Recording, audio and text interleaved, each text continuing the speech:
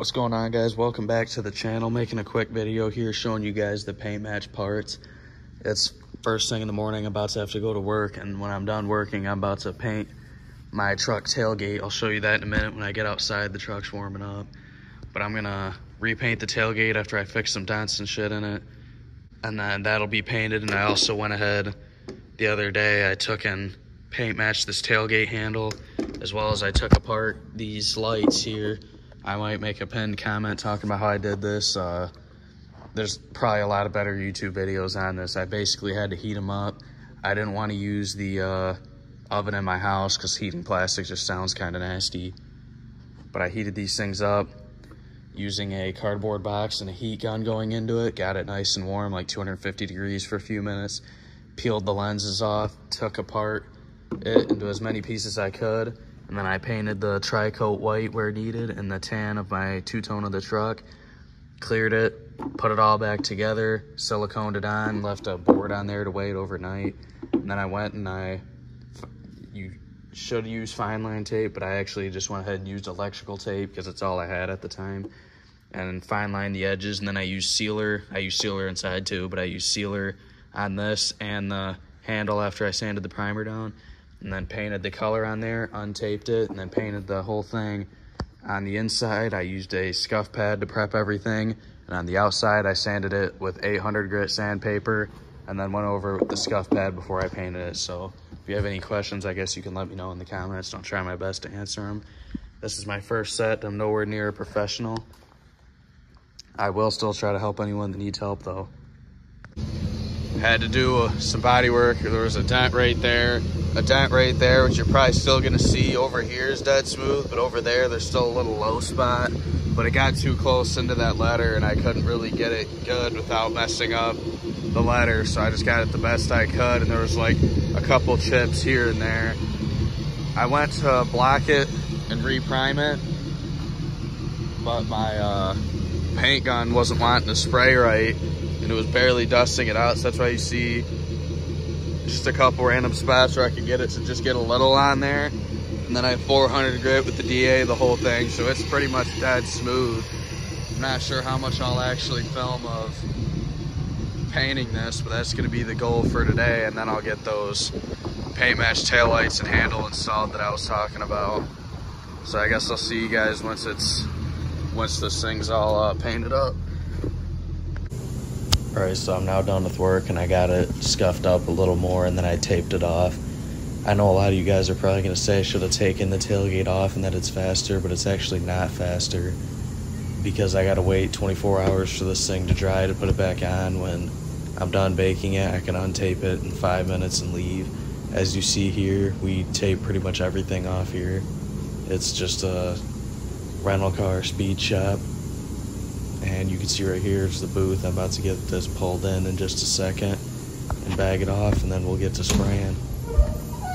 So I'll see you guys when we're ready to spray. All right, so I went and folded in them power mirrors. A trick I learned from working at the auction is tucking that antenna up in here. That way it doesn't get in the way when you're bagging it off. Better pull these out. It's just a storm at room temperature and this bitch gets up to like 140 degrees at least.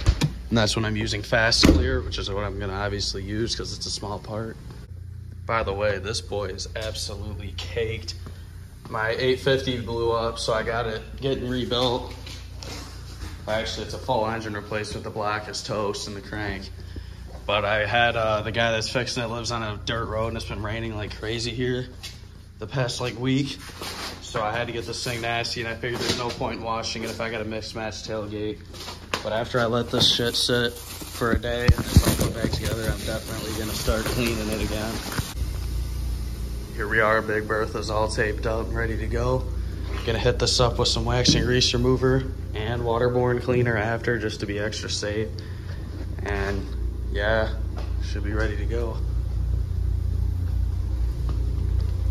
Not sure how much of this will actually film. All right, so now mixing, we got our paint code UG, Ford 09 to 22, that's in my year range. Main body. And down here we got darker and blue, lighter, red. We need more blue. For my exact variant is not the standard. So I'm gonna mix this up. We'll be good to go. Well, that was a huge battle. I had to weigh a bunch of stuff down and suck it towards the back. That's a nightmare. I hope this doesn't cause any problems for me because like, dude, this is a mess. I hate this. But we got uh, Eastwood Concours LT100. About to throw some sealer on the whole thing and then we'll base and clear it.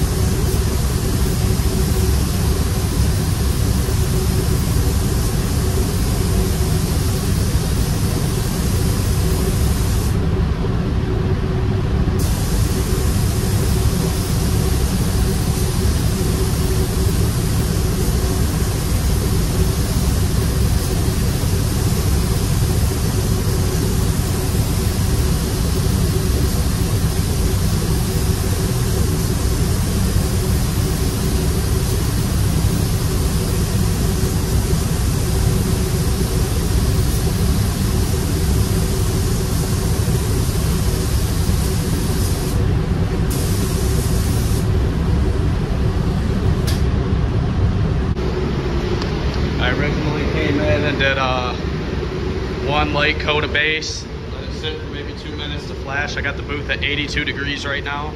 After it flashed, I went ahead and did another more medium coat, waited about 30 seconds and did another one. And then I believe I walked out of the booth for two or three minutes to let it kind of flash more. And then I came in here and hit it with a, uh, a final medium coat, let it sit for a minute, maybe five minutes, mixed up the mid coat, came in here, did two of them back to back light coats and then I let it sit for five minutes and then you've seen on the video where I did two coats back to back and in just a second here I'm to go ahead and hit it with one last coat off camera just to be sure. And then I want to try to let this base sit for 15 minutes in this 82 degrees so I know it's 100% dry before I go ahead and do my coats of clear. I'm going to be using a fast clear. I'll show you guys what it is when I get back in the mixing room here. And hopefully I'll do them back to back because it's a fast drying energy saving clear. It bakes in 30 minutes when I get this booth when I'm done. So I'll be back with you guys when it's time for some clear. All right, so for my clear, I'm running an Eastwood CC500 yet again with a PPS 2.0 cup. And we're gonna thin it with UR60. We're using DC 01NB from BASF with DH16 hardener. So I'm gonna mix up a quick pot of this and throw it on there. In real life, I'm gonna do two coats back to back. I'll probably just show the first coat and then shut the camera off and like wait 30 seconds, hit the second coat, and then I'll bring you guys back.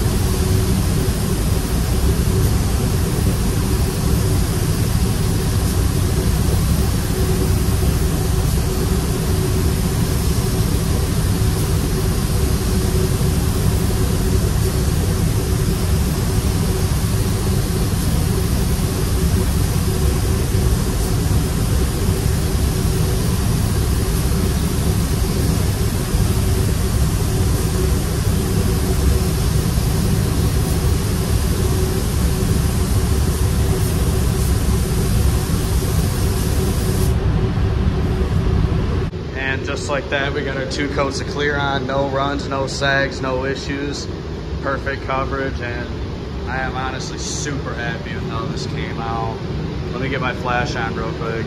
It's hard to pick up on the camera unless I got the flash on, but the flake looks absolutely stunning. So I'm gonna let this sit for maybe five minutes, then we'll kick it into the bake, and untape it, we'll be done.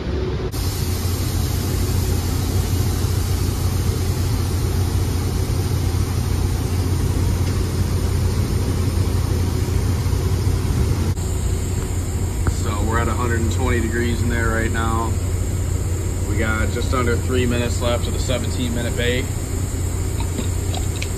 When that's done, I gotta rip that plastic off as fast as I can. So this will be the last clip until I'm home. So then here's that paint match tailgate handle that you seen earlier because all the doors on the truck are paint matched, but this was textured black from the factory for some reason. I don't know why they did that. So to match the rest of everything, I went and sanded all the grit out with some like 320, I believe, and then 400. And then I primed it, scuffed up the primer and shot it. So I originally shot this using the standard variant of paint, which I assumed mine was until I got the chip cards out and found that mine's actually more or less on the bluer side under here. So it still matches like really good. You can't even tell. So I'm about to throw these parts back on. It shouldn't be too hard. Just getting this adjusted. It's probably gonna take me a minute. I'll get back with you guys when it's done. It's currently the next day. I got kind of sidetracked after I got everything back on and didn't get any clips until after it was already dark. So I figured I'll just wait till the next day to show you guys how we're looking here. Uh, these taillights are the Chinesium ones. They don't really fit that great. I'm kind of worried I might do something about this. I don't want it to take the paint off the bed because then I would actually lose my mind. So I'll probably look into that. That's how we're looking though. Got the King Ranch logo stuck back on. I reused it. I didn't want to get a new one. And yeah, it, it matches like perfect in person. I bet if I get it on the camera, it might look weird. Actually, at least from looking through my phone, it looks like it all matches too.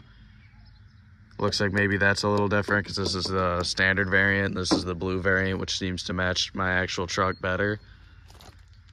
So yeah, one day out of the booth, got the new Ford OEM logo on there. After I installed the camera, I went ahead and replaced the wiring harness in there for the backup camera and it makes it so it does work now, but it works intermittently instead of working not at all. I've been tracing wires and stuff for that a ton, and I just can't seem to get it working. I'm just gonna stop messing with it because honestly, even when it does work, I don't use it anyway. It's kind of easier just to look out the mirrors in my opinion. Yeah, you can see that handle came out great. Here's the one imperfection in all of this from everything from the bodywork, the paint, the prep, etc. The only imperfection is right here, and that's when I was feeding this handle in from the bottom. I scraped it just a little bit right there, and it gave me that nice little chip. Other than that, though, it laid really smooth. That uh, Eastwood Concours LT100 for the sealer, the base, and the mid. And then I hit it up with the clear coat, all BASF paints, by the way, but the clear coat was with the Eastwood CC500. So for some cheaper end guns, they honestly did surprise me. And I am like really glad with how this came out. I don't know if I even showed the condition of the tailgate before. It wasn't bad, don't get me wrong. But it did have like a good dinger right in here, about that big. It had a lot of deep, deep rock chips, like down to bare metal. There was some over here there was just a lot of scratches, a lot of little dents all over, but the main dent was up there. And now it's perfect like the rest of the truck. And I think those taillights look freaking sweet on there. I really like them, especially knowing I actually built them myself. And it's not like most guys where they just went online and found some kid on TikTok to pay $500 to build them a set. Like these are actually built 100% by hand, 100% by me. It don't get much better than that. I'm gonna go ahead and pop the lights on on these and get some different shots of how everything looks real quick for you guys.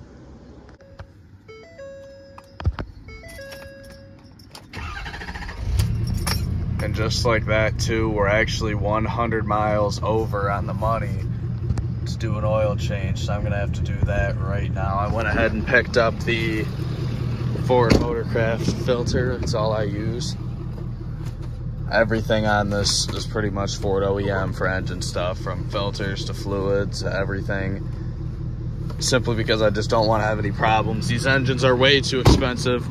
Back in the 7.3 days, I always would use, you know, whatever filter was only $9 when I went there and whatever coolant was the cheapest at Family Farm and Home because it's a cheaper motor on this thing. You can't mess around with that though.